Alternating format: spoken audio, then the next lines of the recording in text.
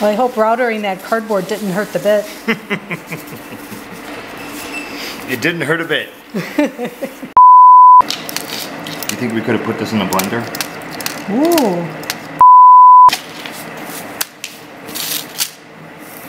That's it? No, Really? Yield more than that. Oh, get a move on. No, maybe that would go a lot faster if you didn't measure each one. I know you want to be precise, but You know me.